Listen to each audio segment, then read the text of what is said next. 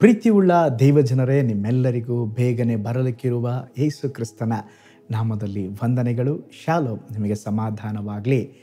ಈ ದಿನ ಕೂಡ ದೇವರ ವಾಕ್ಯದ ಜ್ಞಾನಕ್ಕಾಗಿರುವಂಥ ವಿಷಯ ಆಪತ್ತಿನಿಂದ ಬಿಡುಗಡೆ. ಅದಕ್ಕೆ ಆಧಾರವಾಗಿ ಕೀರ್ತನೆಗಳು ಐವತ್ತನೆಯ ಅಧ್ಯಾಯ ಹದಿನೈದನೆಯ ವಚನ. ಕಷ್ಟ ಕಾಲದಲ್ಲಿ ನನಗೆ ಮೊರೆ ಇಡಿರಿ ಬಿಡಿಸುವೆನು, ಆಗ ನನ್ನನ್ನು ಕೊಂಡಾಡುವಿರಿ. ಈಗ ಓದಿದ ವಾಕ್ಯ ಭಾಗದಲ್ಲಿ ದೇವರು ಹೇಳುತ್ತಿದ್ದಾರೆ, ಕಷ್ಟ ಕಾಲದಲ್ಲಿ ನನಗೆ ಮೊರೆ ಇಡಿರಿ ನಮ್ಮ ಜೀವಿತ ಸುಲಭವಾದದ್ದಲ್ಲ ರೀ. ನಮ್ಮ ಜೀವನದ ಯಾತ್ರೆಯಲ್ಲಿ ಕಷ್ಟಗಳು, ದುಃಖಗಳು, ಸವಾಲುಗಳು, ತಡೆಗಳು ಏನೆಲ್ಲ ಬರಬಹುದು ಆದರೆ ಅವೆಲ್ಲವುಗಳು ಬರುವಾಗ ನಾವು ನಿರಾಶರಾಗ್ತೇವೆ, ನೊಂದು ಹೋಗ್ತೇವೆ, ವೇದನೆ ಪಡ್ತೇವೆ. ಆದರೆ ದೇವರು ಹೇಳುತ್ತಾ ಇದ್ದಾರೆ, ನಿಮ್ಮ ಜೀವನದಲ್ಲಿ ಕಷ್ಟಗಳು ಬರುವಾಗ ನನ್ನನ್ನು ಕರೆಯಿರಿ. ನಿಮ್ಮ ಜೀವನದಲ್ಲಿ ಅಪಾಯಗಳು ಬರುವಾಗ ನನ್ನನ್ನು ಕರೆಯಿರಿ. ನೀವು ಹಾಗೆ ಕರೆಯುವಾಗ ನಾನು ನಿಮ್ಮ ಜೀವಿತದಲ್ಲಿ ಬಿಡುಗಡೆಯನ್ನು ಕೊಡ್ತೇನೆ. ನನಗೆ ಬೈಬಲಲ್ಲಿ ಈ ಪೇತ್ರನು ಹಡಗಿನಲ್ಲಿದ್ದಾಗ ಎಲ್ಲರೂ ಯೇಸು ಸ್ವಾಮಿ ಬರುವುದನ್ನು ಕಂಡು ಭೂತ ಭೂತ ಅಂತ ಕೂಗುವಾಗ ಪೇತ್ರನು ಮಾತ್ರ ವ್ಯತ್ಯಸ್ತವಾಗಿ ಚಿಂತೆ ಮಾಡಿ ಹೇಳದ, ಸ್ವಾಮಿ, ನೀನೇ ಆದರೆ ನೀರಿನ ಮೇಲೆ ನಡೆದು ಬರಲಿಕ್ಕೆ ನನಗೆ ಸಹಾಯ ಮಾಡ್ರಿ. ದೇವರು ಹೇಳಿದ್ರು, ನಾನೇಪ್ಪ, ಬಾ ಅಂತ ಹೇಳಿದರು. ಡೌಟ್ ಇದೆ ಅವನಿಗೆ. ಆದರೂ ಕೂಡ ಯೇಸು ಸ್ವಾಮಿ ಬಾ ಅಂತ ಹೇಳಿದಾಗ ನೀರಿನ ಮೇಲೆ ನಡೀಲಿಕ್ಕೆ ಆರಂಭಿಸ್ತು. ಅವನ ಕಣ್ಗಳು ಯೇಸುವನ್ನ ನೋಡುತ್ತಾ ಇದ್ದಾಗ ಸಮುದ್ರದ ಮೇಲೆ ನಡೆದನ್ರಿ. ಆದರೆ ಅವನ ಕಣ್ಗಳು ತಿರುಗಿ ಯೇಸುವನ್ನ ನೋಡದೆ ಆ ಗಾಳಿ, ತೆರೆಗಳ ಶಬ್ದಕ್ಕೆ ಹಿಂತಿರುಗಿ ನೋಡಿದಾಗ ಸಮುದ್ರದಲ್ಲಿ ಮುಳುಗಲಿಕ್ಕೆ ಆರಂಭಿಸ್ತ ನೋಡ್ರಿ, ಈ ಪೇತ್ರನು ಅವನ ಕೆಲಸವೇ ಬೆಸ್ತನು. ಅದು ಸಾಧಾರಣ ಬೆಸ್ತನಲ್ಲ, ಒಂದು ಸೀನಿಯರ್, ಮೋಸ್ಟ್ ಅಂತ ಹೇಳ್ಬೋದು. ಯಾವ ಮೀನು, ಯಾವ ಸ್ಥಳದಲ್ಲಿ ಹೇಗೆ ಸಿಗ್ತದೆ, ಅದ್ರ ಬಗ್ಗೆ ಬಹಳ ಎಲ್ಲ ಕಾರ್ಯಗಳು ಅವನಿಗೆ ತಿಳುವಳಿಕೆ ಇತ್ತು. ಈಗ ನೀರಿನಲ್ಲಿ ಮುಳುಗುವಾಗ, ಸಾಧಾರಣವಾಗಿ ಒಬ್ಬ ವ್ಯಕ್ತಿ ನೀರಿನಲ್ಲಿ ಮುಳುಗುವಾಗ ಏನು ಮಾಡ್ಬೇಕ್ರಿ? ಈಜಬೇಕು. ಇವನು ಬೆಸ್ತನು. ಬೆಸ್ತನ್ ಅಂದರೆ ನೀರಿನಲ್ಲಿ ಈಜೋದು ಗೊತ್ತಿರ್ತದ ಇಲ್ವೋ? ಗೊತ್ತಿರ್ತದೆ. ಆದರೆ ಇವನೇನು ಮಾಡ್ತಾ ಇದ್ದಾನಂತ ಹೇಳಿದ್ರೆ ಈಜಲಿಲ್ಲ ಯೇಸುವನ್ನು ಕರೀತಾ ಇದ್ದಾನೆ. ಯೇಸುವೇ ನನ್ನನ್ನು ಕಾಪಾಡ್ರಿ. ಯೇಸುವೇ ನನ್ನನ್ನು ರಕ್ಷಿಸ್ರಿ. ಕರೆಯುವಾಗ ಅಲ್ಲಿದ್ದಂಥ ಯಾವ ಹಸ್ತಗಳು ಚಾಚಲ್ಪಡಲಿಲ್ಲ. ಯೇಸುವಿನ ಹಸ್ತ ಮಾತ್ರ ಚಾಚಿ ಅವನ ಕಷ್ಟದ ಸಮಯದಲ್ಲಿ ಕರೆದಾಗ ಕೈ ನೀಡಿ ಮುಳುಗುವಂಥ ಪೇತ್ರನನ್ನ ದೇವರು ಮೇಲಕ್ಕೆ ನಿಲ್ಲಿಸಿದರು. ಪ್ರೀತಿಯುಳ್ಳ ದೇವಜನರೇ ನಿಮ್ಮ ಜೀವಿತದಲ್ಲಿ ಕೂಡ ಜೀವನದ ಯಾತ್ರೆಯಲ್ಲಿ, ಜೀವನದ ಪ್ರಯಾಣದಲ್ಲಿ ಮುಳುಗಿ ಹೋಗುವ ವೇಳೆಯಲ್ಲಿ ನಿಮ್ಮನ್ನು ಎತ್ತುವುದಕ್ಕೆ ಯಾರೂ ಇಲ್ಲದೇ ಇರಬಹುದು.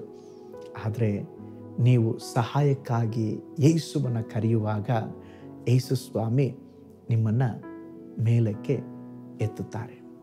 ಒಂದು ನಡೆದಂಥ ಒಂದು ಅದ್ಭುತವಾದಂಥ ಸಾಕ್ಷಿಯನ್ನು ನಿಮ್ಮೊಂದಿಗೆ ಹಂಚಿಕೊಳ್ಳುತ್ತೇನೆ. ಅಮೇರಿಕದಲ್ಲಿ ಒಬ್ಬ ಕೋಟ್ಯಾಧೀಶ ಮಗನನ್ನು ಕಳ್ಳರು ಅಪಹರಿಸಿದರು. ಅವರು ಒಂದು ದೊಡ್ಡ ಮೊತ್ತವನ್ನು ಆ ಐಶ್ವರ್ಯವಂತನಿಂದ ಅಪೇಕ್ಷಿಸಿ ಅವನಿಗೆ ಕರೆ ಮಾಡಿ, ನಿಮ್ಮ ಮಗನನ್ನು ಕಿಡ್ನ್ಯಾಪ್ ಮಾಡಿದ್ದೇವೆ. ನೀವು ನನಗೆ ಇಷ್ಟು ಹಣವನ್ನು ಕೊಟ್ಟರೆ ನಿಮ್ಮ ಮಗನು ಉಳಿದು ಬರುತ್ತಾನೆ. ಇಲ್ಲವಾದರೆ ಅವನನ್ನು ನಾವು ಸಾಹಿಸಿ ಬಿಡ್ತೇವೆ. ಶವದ ಪೆಟ್ಟಿಗೆಯಲ್ಲಿ ಇಟ್ಟು ಮೊಳೆಗಳನ್ನು ಜಡಿದು ಅವನನ್ನು ಸಾಯಿಸಿ ಬಿಡ್ತೇವೆ. ಆದರೆ ಈ ಐಶ್ವರ್ಯವಂತನು ಅದನ್ನು ಲಕ್ಷಿಸಲೇ ಇಲ್ಲ. ನೀವು ಹೇಳುವಷ್ಟು ನಾನು ಹಣ ಕೊಡೋದಿಲ್ಲ, ನನ್ನ ಮಗನ ಏನು ಮಾಡ್ಕೊಳ್ತೀರ ಮಾಡ್ಕೊಳ್ರಿ ಎಂಬುದಾಗಿ ಹೇಳಿಬಿಟ್ಟ. ಇವರು ಕೋಪಗೊಂಡಂಥ ಕಳ್ಳರು ಏನು ಮಾಡಿದ್ರಂತೆ, ಅವರ ಮಗನನ್ನು ಒಂದು ಶವದ ಪೆಟ್ಟಿಗೆಯಲ್ಲಿ ಹಾಕಿ ಮೂಳೆಗಳನ್ನು ಜಡೆದು ಅರಣ್ಯವೊಂದರಲ್ಲಿ ಹೂನಿಟ್ಟು ಹೊರಟುಬಿಟ್ರು.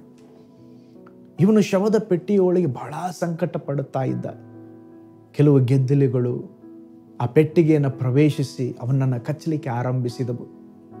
ಆದರೂ ಅವುಗಳನ್ನು ತಾಳಲಾಗದಂತೆ ಆತನ ಕೈಗಳು ಬಂಧಿತವಾಗಿದ್ದವು. ಇಂಥ ಮರಣಕರವಾದಂಥ ಸಂಕಟವಾದಂಥ ಕಷ್ಟಪಡುತ್ತಾ ಇರುವಾಗ ಅದನ್ನು ಸಹಿಸಲು ಅವನಿಗೆ ಆಗಲಿಲ್ಲ. ತಕ್ಷಣವೇ ಆ ಸಮಯದಲ್ಲಿ ಯೇಸು ಸ್ವಾಮಿ ಶಿಲುಬೆಯಲ್ಲಿ ಅನುಭವಿಸಿದ ಬಾಧೆಗಳನ್ನು ಜ್ಞಾಪಿಸಿಕೊಂಡು ಪ್ರಾರ್ಥನೆ ಮಾಡಲಿಕ್ಕೆ ಆರಂಭಿಸಿದ. ದೇವರೇ ನಾನು ಅಸಹಾಯಕನಾಗಿದ್ದೇನೆ.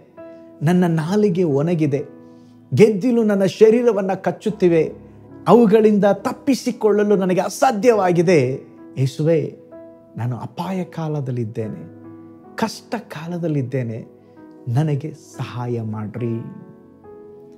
ಅವನು ಪ್ರೇಯರ್ ಮಾಡಿದ ಪ್ರೇಯರ್ ಮಾಡಿದ ಮೇಲೆ ನಡೆದಂಥ ಅದ್ಭುತ ಏನಂದರೆ, ಸ್ವಲ್ಪ ಸಮಯದ ತರುವಾಯ ಆ ಅರಣ್ಯ ಮಾರ್ಗದಲ್ಲಿ ಕೆಲವು ಪೊಲೀಸರು ಹಾದು ಹೋಗ್ತಾ ಇದ್ದರು ಆ ಮಾರ್ಗದಲ್ಲಿ ಕೆಲವು ವಾಹನದ, ಆ ಕಳ್ಳರು ವಾಹನ ಇತ್ತಲ್ವ, ಆ ಗಾಳಿಯ ಅಚ್ಚುಗಳನ್ನು ಮತ್ತು ಹೊಸದಾಗಿ ಅಗಿದು ಮುಚ್ಚಿದ ಮಣ್ಣನ್ನು ನೋಡಿ ಏನೋ ತಪ್ಪಾಗಿದೆ ಎಂಬುದಾಗಿ ವಾಹನವನ್ನು ನಿಲ್ಲಿಸಿ ಆ ಗುಂಡಿಯನ್ನು ಅಗೆದು ನೋಡಿದಾಗ ಜೀವಂತವಾಗಿ ಕಷ್ಟಪಡುತ್ತಾ ಇರುವಂಥ ಆ ವ್ಯಕ್ತಿಯನ್ನು ಗಮನಿಸಿ ಅವನಿಗೆ ತಕ್ಷಣ ಆಸ್ಪತ್ರೆಗೆ ಕಳಿಸಿ ದಾಖಲು ಮಾಡಿ ಅವನ ಜೀವವನ್ನು ಉಳಿಸಿದರು. ಇದು ದೊಡ್ಡ ವಿಷಯವಾಯಿತು.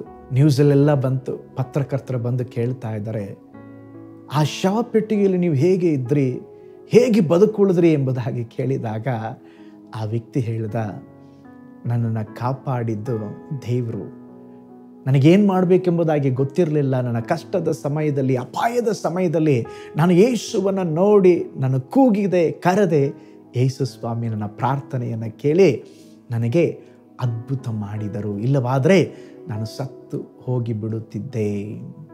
ಪ್ರೀತಿಯುಳ್ಳ ದೇವಜನರೇ ನೀವು ಸಹ ಅಪಾಯದ ಸಮಯದಲ್ಲಿರಬಹುದು ಕಷ್ಟದ ಸಮಯದಲ್ಲಿರಬಹುದು ಕಾರ್ಗತ್ತಲಿನ ಕಣಿವೆಯಲ್ಲಿ ನಡೆದು ಹೋಗುತ್ತಿರಬಹುದು, ರೋಗದ ಮಧ್ಯದಲ್ಲಿ ಬಳಲುತ್ತಿರಬಹುದು, ಡಾಕ್ಟರಿಂದ ಕೈಬಿಡಲ್ಪಟ್ಟಿರಬಹುದು, ಸಾಲಗಳಲ್ಲಿ ಸಿಕ್ಕಿ ಒದ್ದಾಡುತ್ತಾ ಇರಬಹುದು.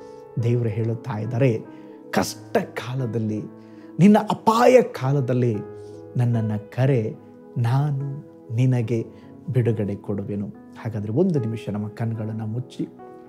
ಈ ಹೊಸ ದಿನದಲ್ಲಿ ನಿಮಗಿರುವ ಕಷ್ಟಗಳು ನನಗೆ ಗೊತ್ತಿಲ್ಲ.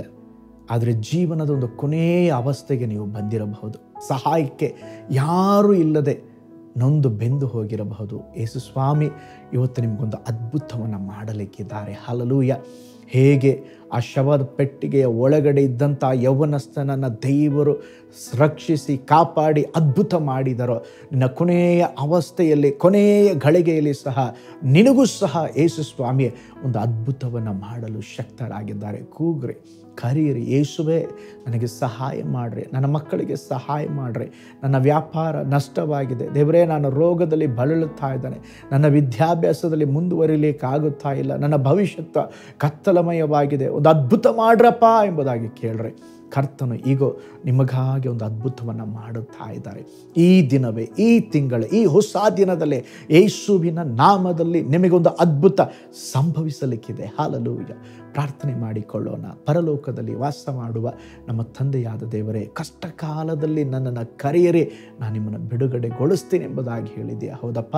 ಈ ದಿನ ಕೂಡ ಸ್ವಾಮಿ, ಕಷ್ಟದಲ್ಲಿರುವ ನಿನ್ನ ಮಕ್ಕಳು ನಿಮ್ಮನ್ನು ಕರೆದಿರುವಾಗ, ನಿಮ್ಮನ್ನು ನೋಡಿ ಕೂಗುವಾಗ ಯೇಸುವಿನ ನಾಮದಲ್ಲಿ ಅದ್ಭುತ ಸಂಭವಿಸಲೆಂಬುದಾಗಿ ಪ್ರಾರ್ಥಿಸ್ತೇನೆ ಸ್ವಾಮಿ. ಈ ಹೊಸ ದಿನದಲ್ಲಿ ಕೂಡ ದೇವರೇ, ನಿನ್ನ ಮಕ್ಕಳ ಕಣ್ಣೀರನ್ನು ಒರೆಸ್ರಿ, ಅವರ ಅವಶ್ಯಕತೆಗಳನ್ನು ಸಂಧಿಸ್ರಿ. ಅದ್ಭುತವಾಗಿ ದಿನ ಜಯಕರವಾಗಿ ನಿನ್ನ ನಾಮದ ಮಹಿಮೆಗಾಗಿ ಜೀವಿಸಲಿಕ್ಕೆ ಕೃಪೆ ಕೊಡ್ರಿ. ಎಲ್ಲ ಶತ್ರುವಿನ ಪ್ಲ್ಯಾನ್ಗಳಿಂದ ದುಷ್ಟಾತ್ಮನ ಕ್ರಿಯೆಗಳಿಂದ ತಪ್ಪಿಸಿ ಕಾಪಾಡ್ರಿ. ಈ ವಿಡಿಯೋನ ವಾಚ್ ಮಾಡಿದ ಎಲ್ಲ ದೈವ ಜನರನ್ನ ಬ್ಲೆಸ್ ಮಾಡ್ರಿ.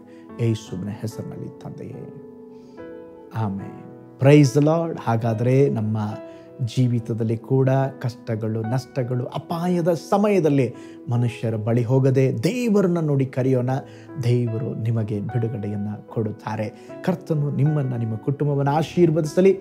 ನಾಳೆ ಮತ್ತೊಂದು ದೈನಂದಿನ ಜ್ಞಾನದಲ್ಲಿ ನಾನು ನಿಮ್ಮನ್ನು ಸಂಧಿಸ್ತೇನೆ. ನಾನು ನಿಮ್ಮ ಪ್ರೀತಿಯ ಸೇವಕ pastor Paul Joy God bless you all